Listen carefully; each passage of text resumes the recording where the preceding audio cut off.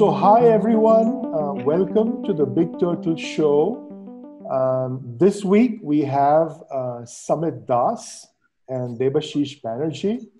Uh, Debashish is an art historian and uh, based in California. Uh, and Samit is an artist um, from uh, Bengal, from Calcutta, and uh, doing some very. Sorry. I, am from Jamshedpur. I'm from Jamshedpur, but last 24 years I'm living in Delhi. I see. Okay. Okay. So I'm a Bengali, but uh, okay. I'm born and brought up in Jamshedpur. Okay. Okay. Well, thanks for the sorry, correction. Sorry to interrupt you. Thanks sorry the correction. Yeah. so yeah, Samit is doing some very exciting work, um, and I will let him explain uh, what he's up to. So um, yeah, let's proceed. Uh, Devashish, would you like to start? Sure, sure, Vikram. Um, so, hello, everybody. This is Devashish Banerji. Uh, I'm uh, an art historian. I uh, teach at the California Institute of Integral Studies in San Francisco, where I hold a professorship in Indian philosophies and cultures. And um, I've known Samit Das for many years. Uh, he is an artist and a scholar of uh, Indian uh, modernist art uh, and architecture. And uh, so it, it's a pleasure to have him uh, and talk to him about the kind of work he does, which is a, a, a special interest of mine as well. Uh, so Samit is a, a, a practicing artist uh, who works on archives. And this is what's interesting the way uh, we can develop a, a relationship with uh, indian history in our present moment to contextualize where we are going. You know our future can be a rootless future or it can be a future that is pushed by forces over which we have no control or we can have a deliberate relationship with the past in which we interpret how we are moving into the future. So, this is what interests me about Samit's work. And uh, he has worked on a variety of media. And at present, he is living in Delhi and he has uh, a, a, recognizable status both as a scholar. He has grown up in Shantiniketan and uh, he uh, has written a book on the architecture of Shantiniketan. And he's also really interested in looking at the period of Bengal art of the nationalist period and how that has, to some extent, been uh, relegated, uh, suppressed, and to some extent holds potentials for the future. So with that, I think I'll uh, let Samit speak a little bit about his interest in Indian history and in uh, art practice as archival practice. Samit, would you like to say something and then we can take the conversation further? Thank you, uh, Professor Banerji. Thank you, Vikram. Uh, hi everyone, I'm Samit Das, an artist and researcher living in Delhi. Studied fine arts from Shantiniketan Kala and also the post-experience program from Camberwell College of Art in London. That's all about the book art I have studied. Well, uh, has mentioned about my interest about the architecture, of Bengal, and uh, also Indian art history which is uh, related uh, with the Bengali school movement and also the archive. So there are few components which is very much uh, and uh, closely integrated with my art practice. Earlier, I never had any idea about what is called archive actually.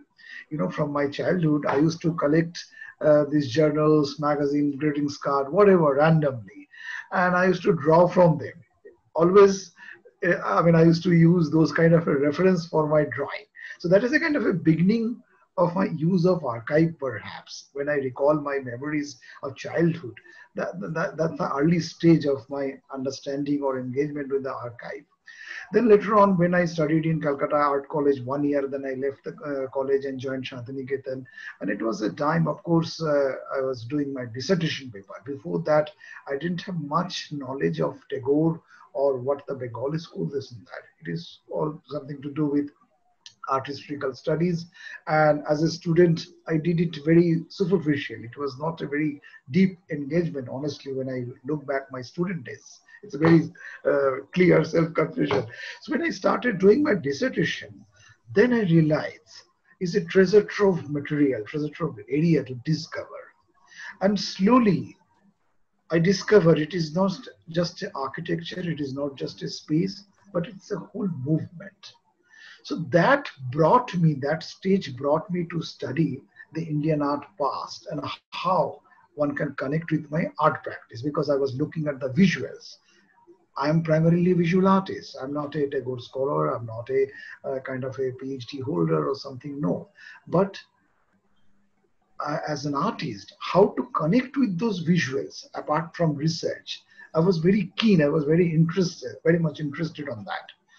So I have finished my course in Shantiniketan. I did my dissertation, and of course, I started living in Delhi, doing my started doing my job. But all those memories and resonance, the whole idea of archive and historical experiments remain in my mind. And I thought I have to continue with that, and I have to join those ideas into my art practice. So that's how it has started.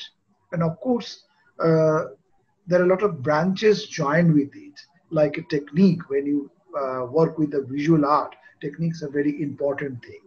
The city, I'm, I'm living in a city like Delhi. It's nobody's city. People live uh, in uh, Delhi for 30 years, 40 years. Still, they say, no, we don't like that. So it's very strange. And every time in city like Delhi, you need to fight for your existence.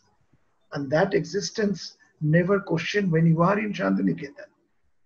So it's a very complex layer to come up.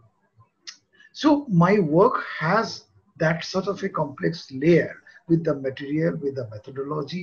And of course, I use a lot of direct reference. As I said, in childhood, I was copying greetings card, I was copying the calendar, even the god and goddesses calendar.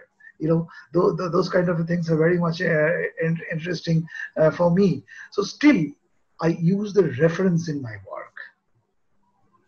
uh, Devashisda? Uh, yeah, yeah, very interesting, Samit. So uh, I think what is really interesting uh, is how you uh, have a conscious relationship with history, how uh, objects are placed in time for you.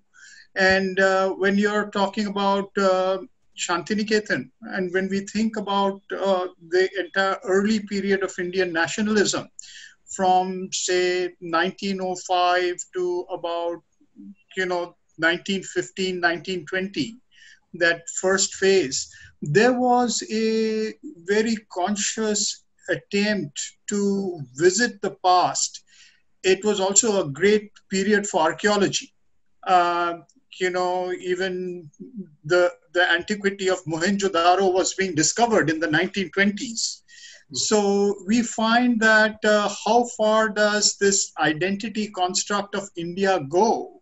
That was itself in question. On the one hand, we have an orthodoxy, which is, you know, the legend and mythology that is constantly trying to push history back into some kind of prehistoric notion that we are that is legendary. On the other hand, we have an actual archaeological study that is going on that is trying to arrive scientifically at a understanding of roots. What is the root? Uh, so, uh, how do you relate to this, uh, Samit? You also mentioned about this this fact about, you know, kind of copying or working with various uh, historical records. Uh, so, how do you relate to this sense of the, you know, the the early period of Indian nationalism and related to our understanding of present nationalism? Well, uh, it's a very complicated question. Let me go little uh, uh, backdrop of my art practice. Uh, before I enter into archaeology, when I was doing the work with the Tagore Bengali school, then I find the Vivekananda's role. Of course, Vivekananda was a key figure to initiate different movement, to make a conscious effort to look at village and rural and folk art. And then I thought how we can connect the whole archaeological exploration because that's a kind of a very early and uh, ancient idea of form of art. I mean, of course, those are the time art form or articulation or art criticism, art history was never constructed. There is no existence word called art in those days. And definitely those, uh, as Devashish mentioned, the Mohenjo-daro and Harappa, which is kind of a very, very uh, strong, powerful resonance in my art practice because those are very early reference of image making because as an artist, when I think of any image, I have to look for reference and everybody has to look for a reference. Otherwise, how an image will develop? Because developing image takes ages, years, maybe few hundred years. You know, so within five, 10 years, it is impossible to develop any image, the visual language. So visual vocabulary has to has some link from uh, the past. There is no other way. So that is the reason even I went back to the archaeological reference directly.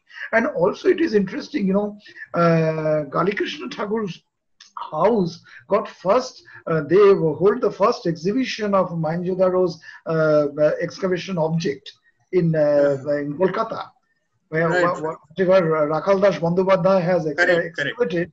Yeah, there are Kali Krishna Thakur uh, uh, kind of hosted that whole exhibition in his house, and I visited mm. that, that house. It's quite exciting, actually. You know, that energy brought me, and of course, when you look at archaeology, when you study the images, it dissolves your ego because thousands of years, I mean, uh, kind of a civilization, uh, it is under the ground and still it is alive. Right, you know? right, right. Quite, quite, quite. Yes, in, indeed, indeed, Samit. I think that's what I find about your work, where uh, there is a certain kind of spirituality in uh, the relationship with the direct relationship with visual form. You know, I mean, which is interesting, which is very different from looking for spirituality in legends, mythologies. There is a visuality component and you're looking for that going way back into archaeology and into a search for uh, archaeological roots of uh, visual form. So, uh, you know, you just talked about going to these sites, looking at these forms, and the kind of charge you felt.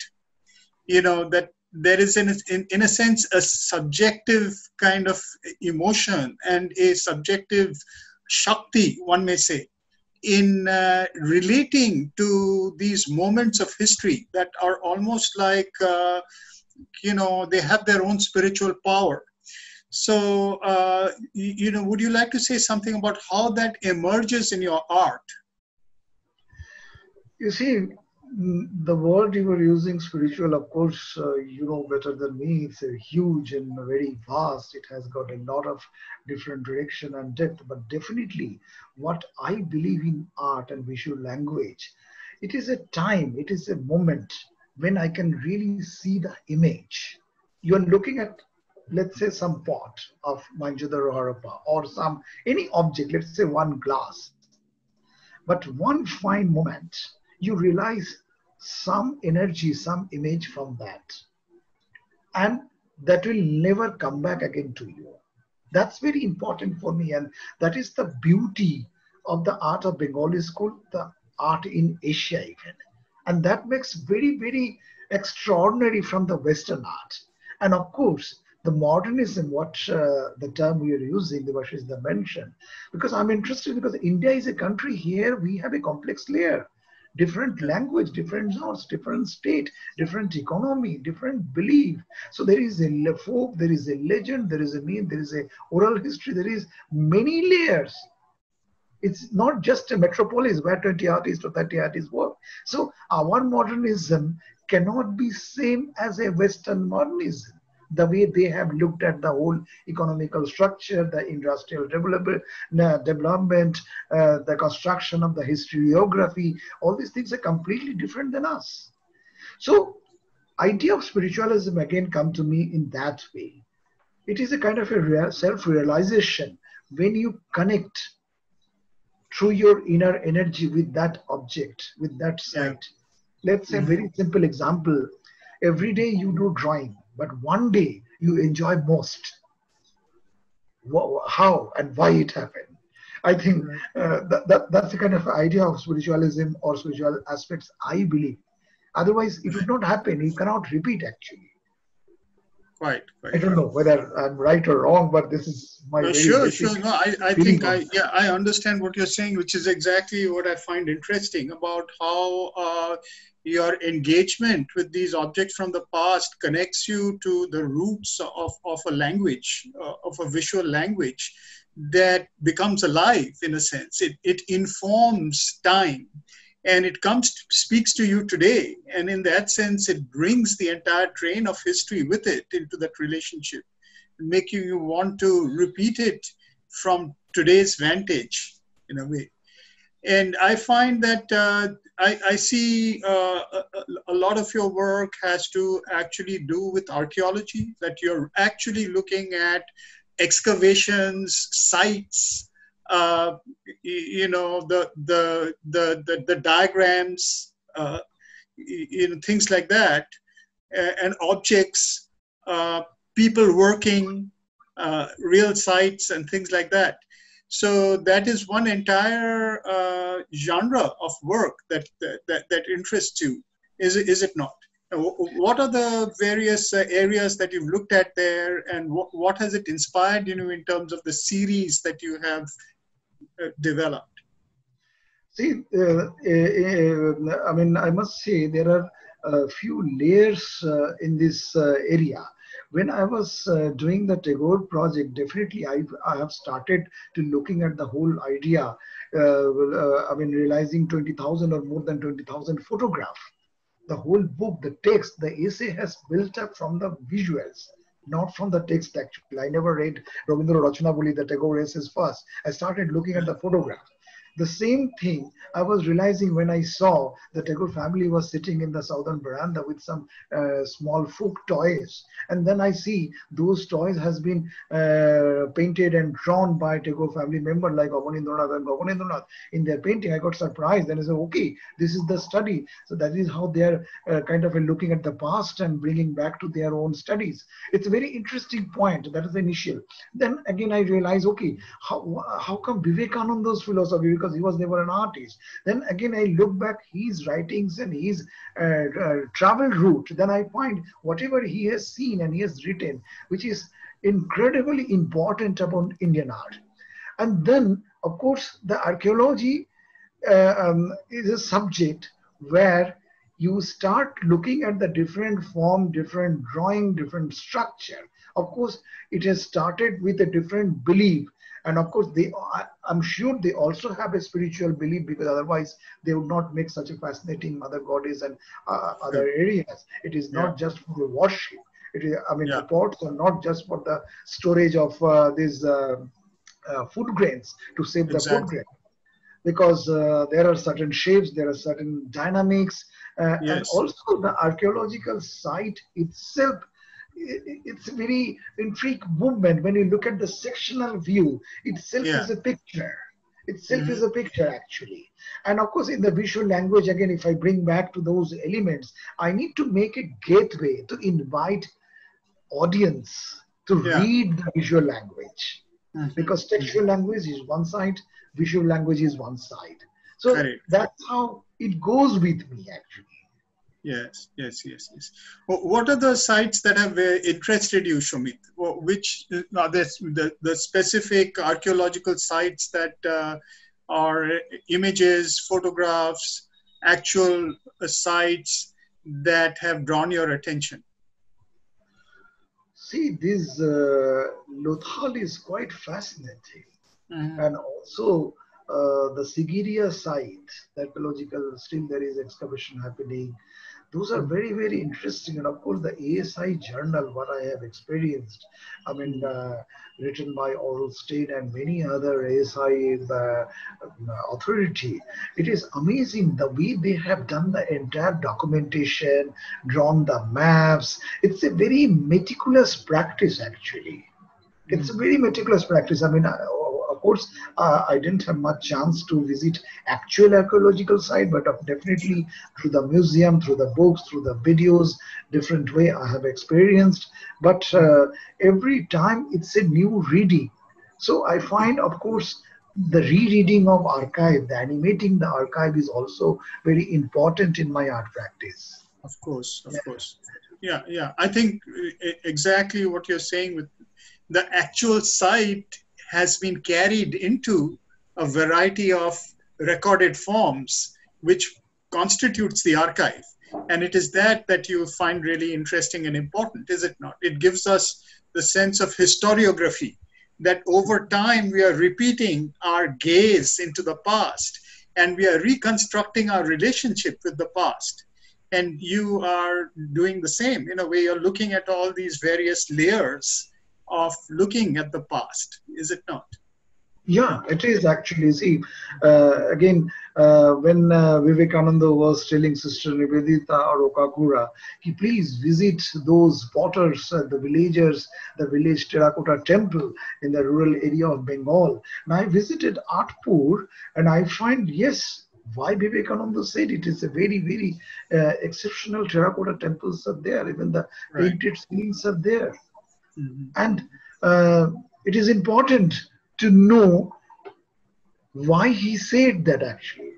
And what is the exceptional thing? There are many terracottas, but what makes him to make the, uh, give that statement on? Mm-hmm. So those elements kind of a energize my art practice. You know? Sure, sure, sure. Yes. You know, you know, right, actually, yeah. Sorry. Yeah, go on. Yes. No, I was Hello. going to bring Vikram into the conversation because Vikram and I uh, made, have made a film. Uh, can you hear me? Yes, I can hear Hello? you. Yes, I can yeah, hear yeah. you.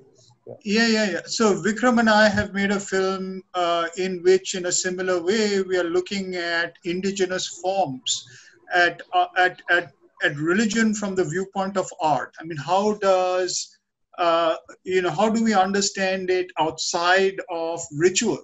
How do we look at just form? So, uh, Vikram, would you like to uh, bring in some of that, uh, you know, investigation into this conversation with Samit? I think he seems to have disappeared. Uh, maybe he lost his link, or yeah.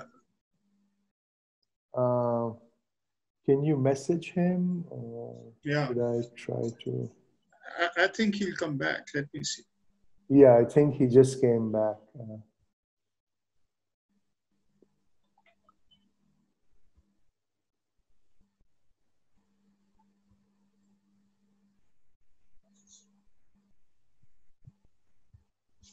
नमस्कार Covid 19 unlock की प्रक्रिया अब पूरे देश में शुरू हो गई है ऐसे में अपने घरों से बाहर तभी হ্যাঁ কি হলো সুমিত তুমি বেরিয়ে যাচ্ছ না কি কেটে গেল আচ্ছা ঠিক আছে হ্যাঁ দেখতে পাচ্ছি I think is uh, is there a sound lag from your side, Samit?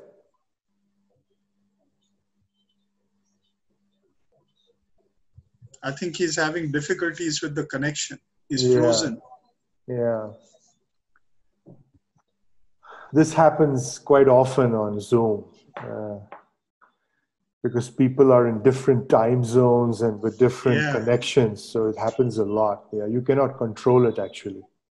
Yeah, yeah. yeah. It, and it's been raining a lot here. I, I think he was just saying that in Delhi, the weather has been really, here too, in, in Calcutta. Okay. Yeah, here too in San Cristobal, it rains for half the day. so, uh, wait, I let me pause this recording till he comes back on. Yeah, yeah, yeah. yeah.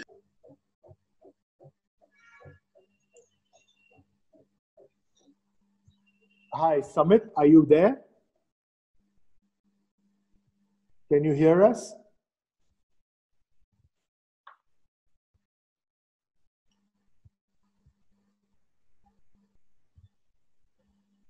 I think he's getting kicked out. Or Can you hear me now? Yeah, yeah. Are you back Yes. on? Yeah. Okay. Sorry, I don't know what's wrong. It's okay. I had paused the recording, but now it's Is back it on. okay now? Uh, how can you hear me, Samit? Can you hear me? Okay. Yes, I can hear you now. Yes, I can hear. Okay. Yes. Your Okay, so- picture seems to have frozen though. I think my my connection has some problem. Anyhow, Okay, Samit. uh, uh, Do you want to continue with this session, Yeah. or do you want to come back uh, some other day? Uh, maybe we should come back because today it's creating some problem, and uh, I think the whole uh, tuning and the motion is creating a trouble. So once it is it is get distracted, so I don't think so. So uh, should we come back uh, another day?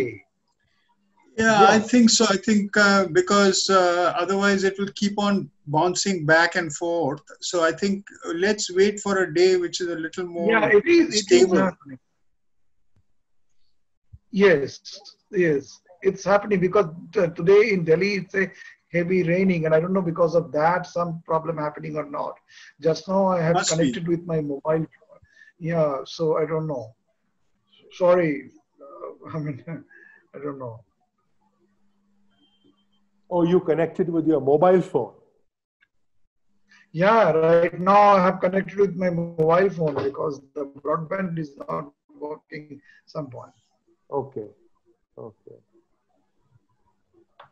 If you want, we can go a little longer and try out with the mobile phone if it if it continues. Would you Yeah, want to yeah. do that? Sure. Yeah. So yeah, Vikram, why, why don't you kick in and kind of uh, uh, talk to Samit a little bit? So, Samit, you know, I had actually attended a session at this um, Kiran Nadar Museum uh, in Bombay. And, uh, you know, several months ago, or maybe a year ago. Um, and this session was hosted in a, in, a, in a space where they have these discussions on art uh, Kiran Nadar initiates many such events. And um, there was a lady, she's a art historian. Her name is Zehra Jumabhoy, and she works in uh, in the UK, and she curates uh, exhibitions and so on. So her focus is Indian modernism, and she was at the time uh, she had come there to talk about the Bombay Progressives okay, the PA, the, the Progressive Artist Group. And, you know, what I found was she had a, she was fixated on this notion of Indian modernism being derivative of European and American uh, influences and not being original. And, um, you know, so she, the, the whole uh, discussion was centered on this, which I think was a very personal thing for her because she's a immigrant and she was trying to justify and uh, you know very vigorously show that no these are not derivative. You know these have uh, their own unique characteristics. And she was focused of course on the bombay on the bombay crowd uh, souza raza and and the rest of them. So um, and this seems to be a tension that I, I, I come across a lot. Um, I mean, in a globalized world, I mean, do you actually, because influences are, you know, the borders are permeable, people um, derive and are influenced either subconsciously or consciously. Uh, you know, you cannot help it, whether you're a filmmaker or a, a writer or anything, musician. Um, but would you like to speak to this as far as the unique characteristics of Indian modernism uh, uh versus a modernism elsewhere? Uh, or is there really a difference? You know, because I see modern art in other parts of the world also uh, very much, you know, lots, many of them have uh, been inspired by pre-modern art you know even even people like jackson pollock and and others and picasso and you know they talk about there was an exhibition in new york that i attended where all these american masters and the influence of mexican art on the american master on american modernism you know pre-modern. And again mexican art when i talk of diego rivera and frida kahlo again what a huge influence their pre-modern traditions had on them you know uh, so is this you know can you maybe talk about this in the context of indian modernism? And how do we define modern today? That's a big question how do we define uh, modern today in context of india? Because uh, uh, personally i felt that uh, uh, the, if you consider the idea of modernism uh, in context of waste, uh, they have a very different perspective as I have mentioned earlier. But in Indian, Indian, Indian context, the civilization is very, very old and we, we, we had a very rich tradition and the tradition uh, again and again come back and kind of a uh, influence the artistic practice and also the different parts of india it has a very very different experiment like as you mentioned the bombay. So definitely there are certain things happen in bengal certain things happen in western part of india central india maybe. Something happen in the villages of india the village artists because this is also very complex area uh, whom we are including modern. Because normally artists whenever art historian speaks about modern they speaks about that artists who trained in a art college or they have studied uh, art and somewhere in a legitimate institution, but who have not studied art formally. They inherit art through their life. How do you define that? So all these complex questions are there. So in that case, my idea is not to look at kind of a, uh, the terminology like a modern or postmodern something, but maybe in context of India, I would prefer the decades, some few decades you know, some year wise, maybe let's say 20 to 60, 20 to 30, maybe 1900 to 1920, something like that, or before 1900, let's say uh, 1700 to something like that. You know, that way maybe better understanding uh, in case of Indian art. I don't know what, what is the idea of the Vashista, but what I realized, this is very complex issue because whenever this uh, modernism or modern art in India, the book has been written, it is not very inclusive. It is not very extended studies. And one point I must appreciate that with the Bengal, which is not done by uh, Bombay or the southern part of the Indian artists, the Bengal has done extensively research on the past and they want to bring back into their own context, own language, you know, and uh, they want to contextualize uh, with their own time. So that practice, I don't know, I'm very much fascinated about that because Bombay and uh, Delhi, it has a very different, Delhi Shilpi Chakra has a very different practice. And mostly the Bombay artists, this Raza Souza and all, they all studied abroad. And in 2017, I did a whole show in Paris as part of my fellowship. Uh, it is all about uh, the artists, uh, many artists, whatever I can access in Paris because getting original work is very difficult. So Raza, uh, there's uh, Nirod Majumdar, there are many artists, Zarina Hashmi, there are many artists I have included in that show. And then I looked at finally Jean Bhownagary's film even, and of course, they're all coming back to Indian root. Right.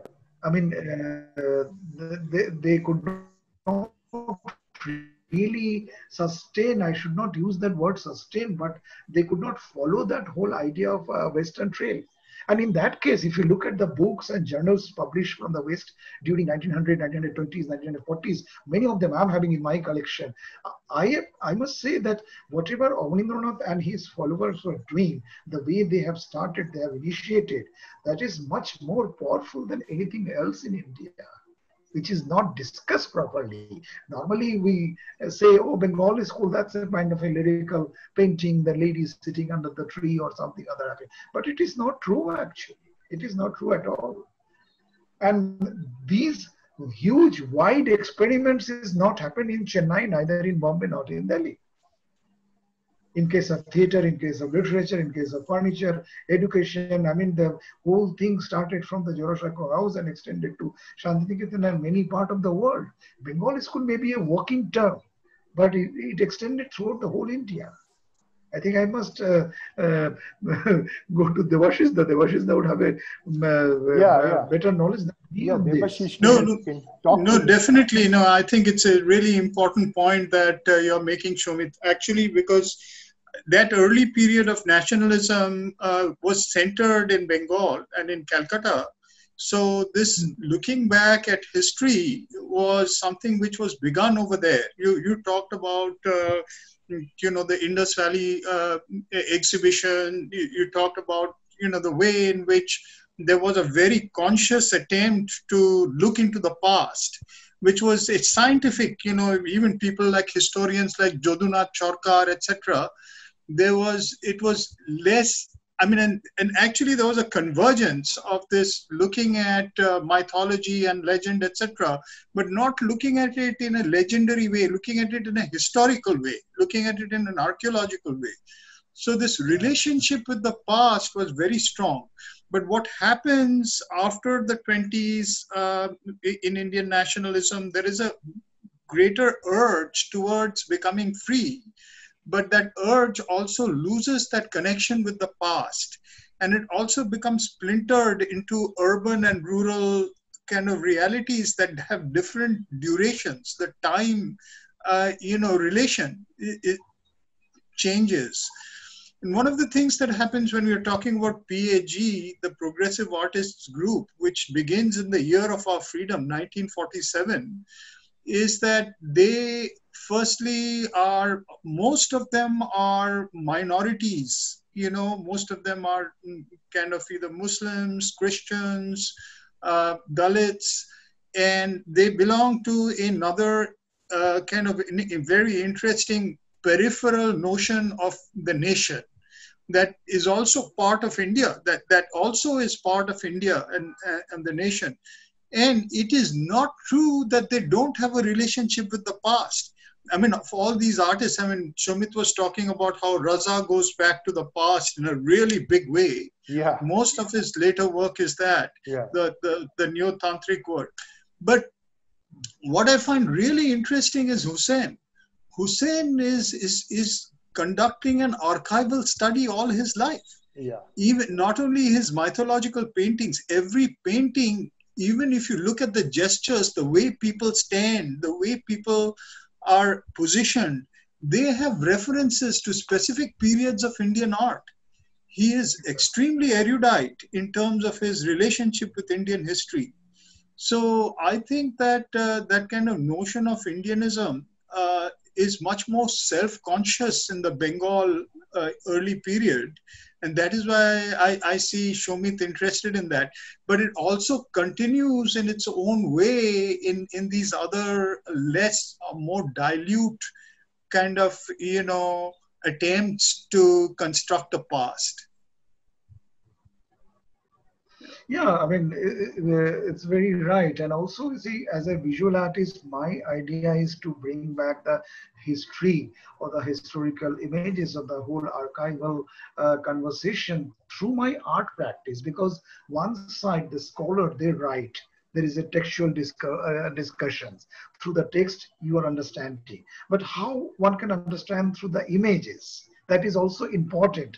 And also uh, the reprographic system the technology. I mean, these are all very important to understand the art history. Like Major Gill, who documented uh, Ajanta, uh, even uh, after some time, he has documented uh, with that uh, twin lens camera. And that gives a very different perspective of Ajanta. And uh, I have seen many of those photographs. And then after that, Yazdani, there are many people year after year, they have documented Ajanta. And every documentation has its own perspective. So, and that is also a very interesting reading of artistry, I believe. So how Absolutely. artist engagement can come together into that? Because always I find this one side is a curator, one side is art historian, scholar, academic, and the practicing artist. You know, it's a big conflict sometimes happen. And I thought, let's, it, it's, a, it, of course, it's a drop in the ocean. I'm not the person to sort it out or bring everything together.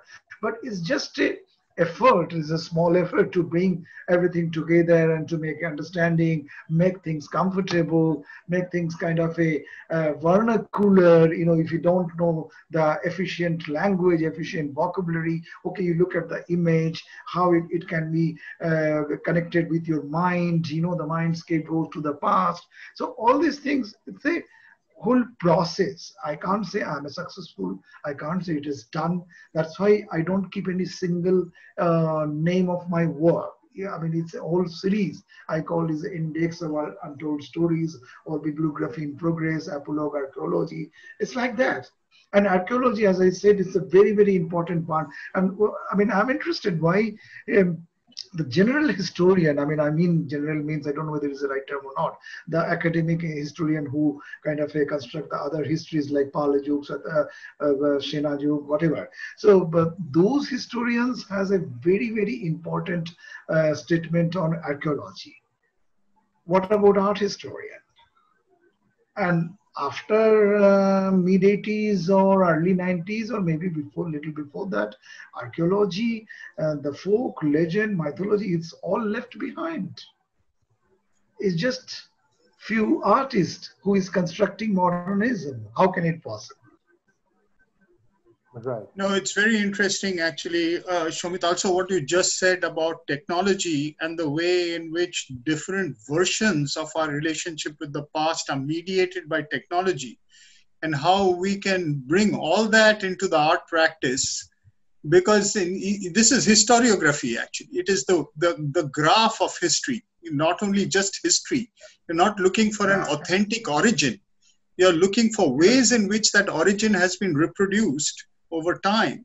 And in each of these reproductions, there is erasure, there is suppression, there is selection, there is highlighting, and it creates history. Our, our uh, historiography creates the future, actually.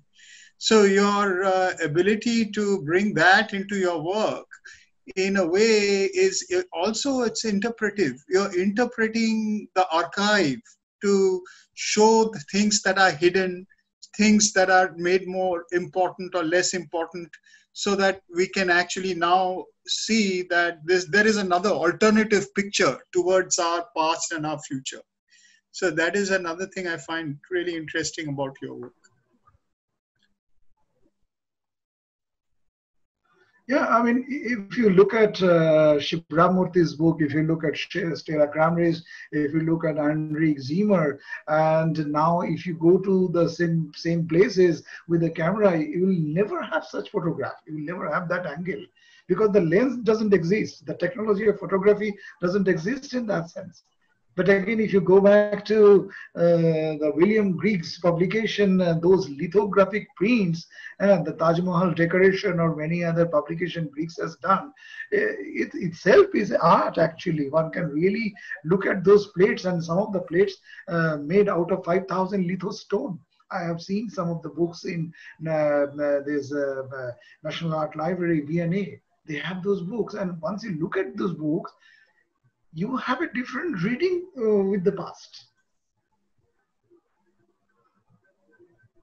So, uh, Vikram, I think, again, I don't know whether I have given your answer. The idea of modernism in India, it's not very easy. It's a complex. You see, the West even, many years they didn't acknowledge, they didn't reveal clearly straight away that Picasso has influence from this African mask and on except, except one painting, the last there, were there was those that, you know, something, I, I don't know whether I'm uh, right pronunciation or not. But uh, now I have seen in 2017-18, uh, there the new Picasso museum, Musée de Picasso, they are showing everything openly. Because French has come out, French says, no, we need to acknowledge the past. Correct. Yeah. That's very important. And beginning of my discussion, I was uh, talking about the image making process, how you think actually, how the image come into your mind. Artist, we say, oh, we make it, we have developed it, but how? Like author, they read maybe thousand books or maybe a few hundred books to write one book. Right. Yes absolutely. Um, I mean, when you look at even uh, you look at Indian pre-modern art or other cultures, African or Mesoamerican, and of course, you know what we call modernism today uh, is a lot of those elements you can see, you know, a thousand years ago. So, and you look at Indian tribal art also, and how those motifs are being reproduced not just by Indian painters but by European painters.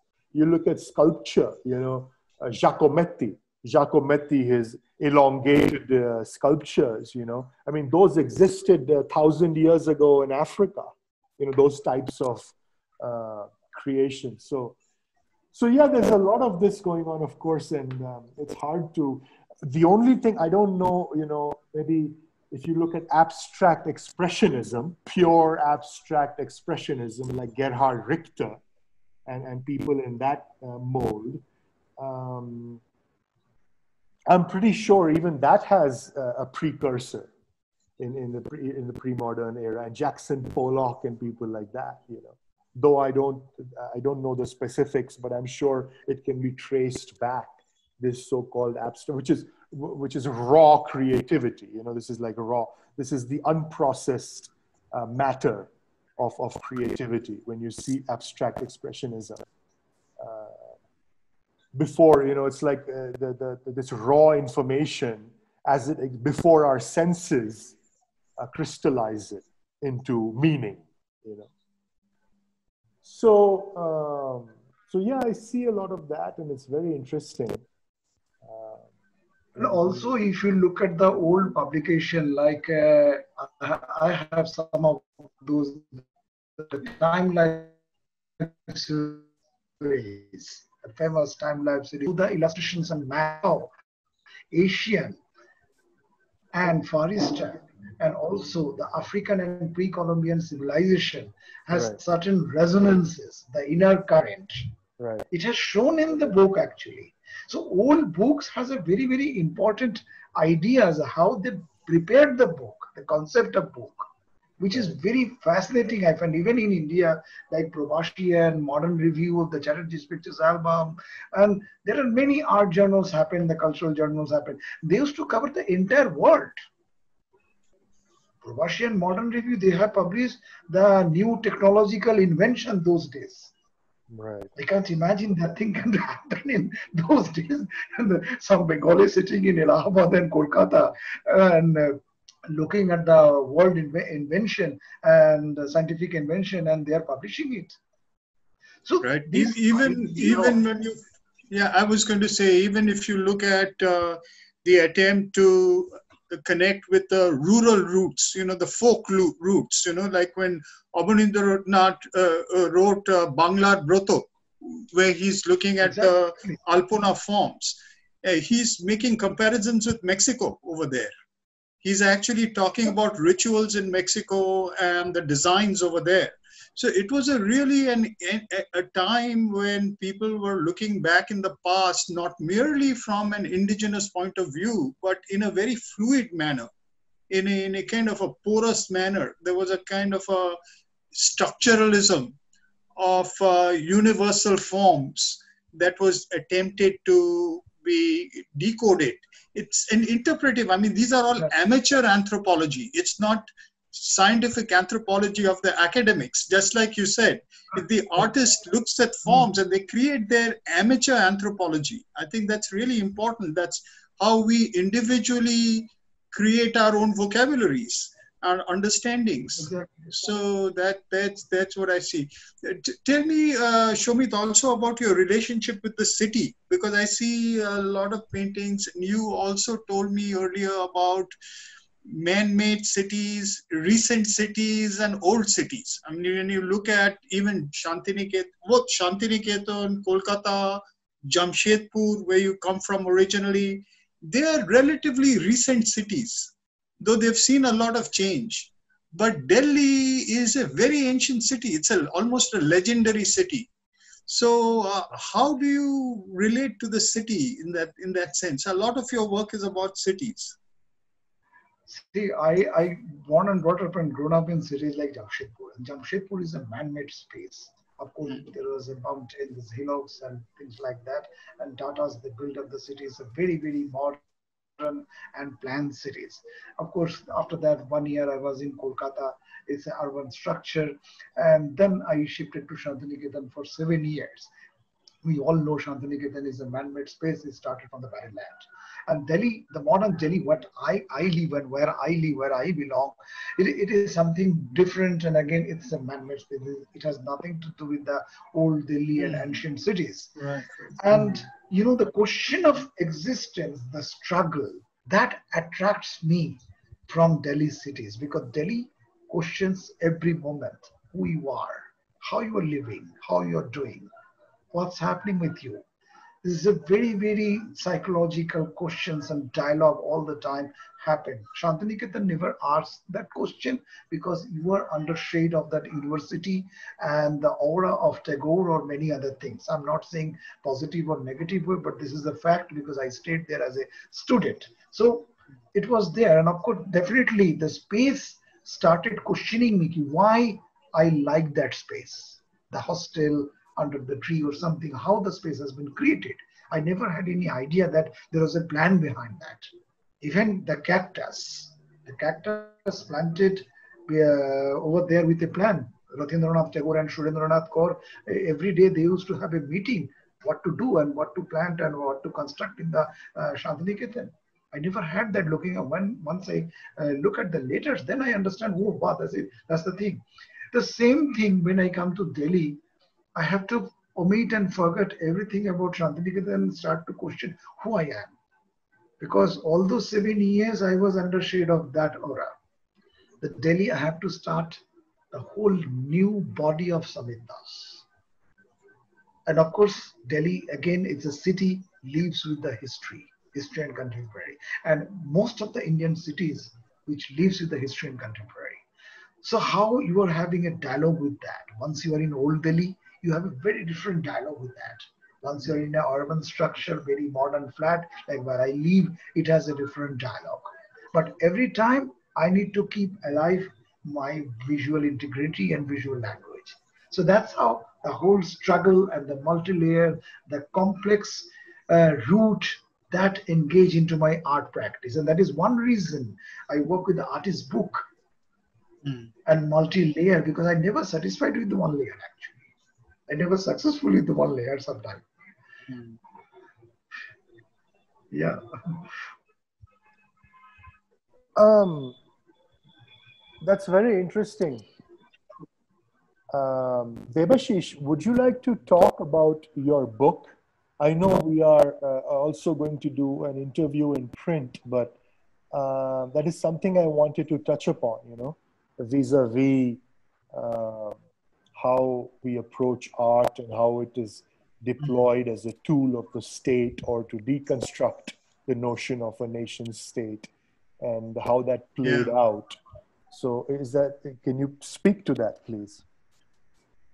Yeah, it's interesting. Actually, that's how Samit and I met. Uh, you know, I gave a talk about my book at JNU, and that's where Samit was uh, present. And then I met him for the first time just after the book came out. So the book is about Abanindranath Tagore and the origins of the Bengal school. Uh, but it it takes a kind of a a, a slightly alternative view of the entire idea of nationalism. Abanindranath is usually seen as the father of Indian nationalist art. But if we really look at his work, we find that there is a constant kind of, you know, he, he keeps doing new series where he shifts from what he was doing earlier. And in each of these, he is trying to look at the idea of the nation in a very different way. He's not happy about stereotypes. And this is exactly where we find that normally nationalism is all about building stereotypes. Nations come into existence partly through images, and they create these images that they reproduce and make into mythologies of the nation and you know those mythologies we are seeing that a lot right now because we find that the whole idea of a ram rajya for example is being mythologized and turned into imagery that people are living in dramatically in their lives and pushing upon the whole nation. But in the nationalist period that we are talking about there was a, a, a pressure to do that. But artists like Abanindranath were resisting that. They were creating forms and breaking those forms, deconstructing it, moving to something else, looking at another way of understanding that entire thing. And the way I've, I've tried to deal with that in my book is to show how the nation, to some extent, has to have an identity. But the responsibility of the artist, of the creative person, is to show that that identity has to keep deconstructing itself. If you make an identity that is stereotypical, then you basically are feeding into some kind of fascist view of the nation. But if at the same time you are constantly bringing in new narratives, the narratives of the people who have been denied, whose voices have been suppressed because of the selection process of creating a nation, then you keep the dialogue alive. And this keeping alive, you know, this is also partly, uh, you know, what interests me about Samit's work is that the, the under the ground there are the ruins of the past that we also are suppressing to some extent. We are building on top of, but at the same time, those things are living in us and through us. They are the ghosts, the specters that are in our you know minds and in our hands, but we deny them. So to some extent, the book is talking about that. It's talking about how a responsible artist has to keep changing uh, their own focus. You know, that, that's another thing that Samit and, you know, I can ask Samit about as well which is about the notion of style in modern art. Uh, st- we, we, normally try to uh, stereotype artists by their style. All the paintings of a certain person can be recognized by style. This is also art historiographical thing. Art historiography is about establishing styles, periods of history, names, and styles. Well, actually, you find that there is no need to do that. Our identity is actually something which needs to change, and our style is related to who I'm becoming right now. I find that. Would you like to talk about that, Samit? Yeah, yeah, definitely. I mean, you see, as an artist, as a contemporary artist, even always uh, uh, I have to listen that, oh, uh, why don't you develop a style, you know, and also the auction houses and when the gallery comes in the commercial aspect everywhere, it's all about the style. But what is style exactly? What is the integrity of style? And that is totally distorted and deconstructed by Abanindranath. He never established anything and I think many people they misunderstood that whole movement as a narrow nationalism. It was never, as Debashishda mentioned, that uh, if you if you built up a style, it's a kind of a whole fascist order. Okay, this is the order, this is the style, this is the thing you have to do. This is I've made it. No, nothing like that. Every time it is changing because your life is also changing. Your life is also changing. Like Abanindranath said uh, regarding uh, Alpona, is ephemeral. Why we need to preserve that? Right. It's a fascinating actually. So in case of art also, we never live a same life. We, we cannot have the same realization. So making superficial style in context of modernism or postmodernism or as a branding, I think is a totally misleading idea in that sense. Okay. It makes sense.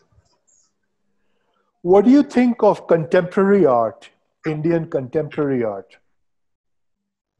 And you're asking um, me, Vikram? Yeah, I'm asking you actually. What are your views on? Uh, what are your views on these, uh, you know, very up and coming uh, artists who, who get a lot of media attention, and uh, uh, they they show their works all over the world? Like there is Jitish Kalat, and there is you know these various other people. As the names slip my mind right now, but you probably know better than me. So this is a whole different space. I mean, they're using various elements. They're even using themselves, you know, as in performance art, you know, inspired by Marina Abramovic and so on. Now you have Indian artists into performance art.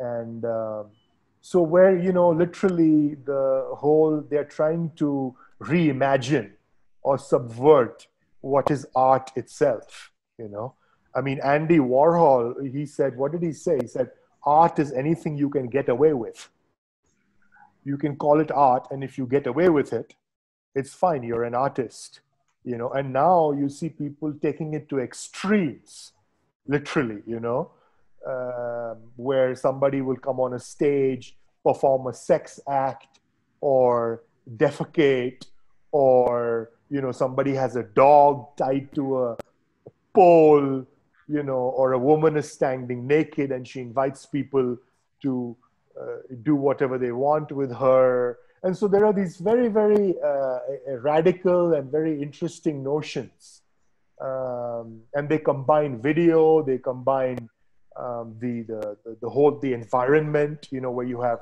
uh, sensory you have they create sounds they create a sound soundscape, you know, where one of your senses is, disc- is uh, you know, you're not, you don't see, but you can only hear.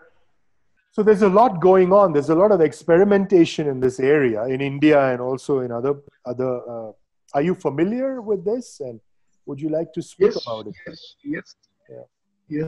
yes. You see, uh, it's an endless thing happening, and it's a endless uh, items on your plate because uh, the liberation of the technology, the democracy of technology, social media platform. Um, uh, I mean, uh, social media is something where there is no censorship in that sense, quote unquote. Uh, there are many possibilities. But as a person, if you ask me personally, I must say that whatever touches me, touches my mind, touches my eyes, or touches my heart, touches inside the inner energy, I stop on that. I stick to that. Otherwise, uh, it's endless. Like the morning, you open Instagram, you open uh, news, uh, you open Facebook, but uh, you don't read, you don't see everything. Something you see, something you just half read, something you read completely, something you read with your mind and heart and with your all underlines and dots and full stop. You know, so there are always a category on that. So in case of art also, for me, it's all about that. I mean, whatever it touches me, even if it is a sound, even if it is a performance, whatever the uh, advertising, the alphabets, the billboard, uh, any joke, whatever, it, anything today, anything people say it's art. Well, it's art, that's fine, there's no problem. But my acceptance is that area where I get my own taste, where I can have the taste. You know, where my test bud is smelling something. Because it's a very personal choice. I can't generalize it. It's very difficult to give any general answer. Okay, This is good, this is bad. No, I'm not the person to judge yes, it. Even. Yes, uh, yes. Because everybody has their own freedom. Like a social platform, I mean, everybody can write anything on the morning, uh, whatever they feel like. Okay, if you don't like to see, just knows them You don't look at them. Okay, you just bypass it even these days it's endless. Like uh, uh, you know uh, uh earlier maybe uh, we used to say oh it's too much of food. We can't eat actually. Maybe you have expected some 10 items 10 course dinner or lunch and uh, they gave you some 15 or 20 but now it is some millions and billions of options. It, it, it is just out of the control. And of course there is a ai that is a huge thing in your life. Yeah, is a huge thing because everywhere the navigation is there. Right. So sometime one one point your mind is getting controlled. You are living into that patternistic life. And it's very difficult to get out from that uh, pattern because the pattern has created the video right. game or the software, whatever, it's a pattern simple. It's a it's a kind of a combination of this and that. Maybe there's some million, there's some few billions, whatever. Of course, there is a limitation on that. So again, as an artist, I'll, I'll have to I'll have to leave. Sorry, I'll have to leave now. Uh, I think, okay. uh, yeah, I, will I'll take your leave uh, for now, and uh, I think we can reconvene later, and Vikram can continue talking to you, Samit. Thank okay. you, Debashish. Thank you. Thank you. Welcome. Thank it's you. A wonderful session, I think. Thank you for talking. Thanks. Okay. Thanks. Thank you. Okay. Talk to you later. Time Bye. Bye. We'll talk again. Thank you, Debashish. Yeah. Thank you. Thank, thank you. Bye. Bye. Bye. Bye. So, yeah, yeah, Vikram, I mean, that is what I can say actually. Yeah, because it seems that we have come into a time when art can be anything, literally anything, you know. And um, there is a lot of debate around this, of course. And um, you have people like Damien Hirst, and um, you know he stuffed. He was he started by stuffing animals. He was stuffing animals, putting them up on a stage, yeah. and selling them for I don't know hundreds of millions of dollars. So, how do you define value in art? This is another subject. That's you know? another art. That's another art, you know. I mean, what is it? It's imputed value. It's because it's not value in terms of what human beings need. You know, this is a different type of value. So, um, yeah, it's very interesting. But uh, anyway, so I think. Uh, Do you yeah, think that uh, I have given all the answer? I mean, that is uh, the expected uh, question uh, get answered. you got it. Yeah, I got it. I got it definitely, and thank you for you know for attending the show, and um, we will have to edit it somewhat, and then once it is yeah, yeah. ready, um, I will let you know and uh, we'll post it online. Okay. Yeah, definitely, and include the image as you mentioned. So yeah. image is also important, okay. and that way people will understand okay how we are talking because sometimes discussion on art visuals are very important actually. Right. I'm going to put them in. Yeah. Yes. Yes. Yeah. Okay. So thank, thank you. you, Vikram. Thank you, Samit. Take care and hope to see you again. Okay, bye bye.